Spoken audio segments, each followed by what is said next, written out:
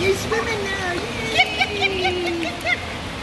I go right after you left, he started looking for you.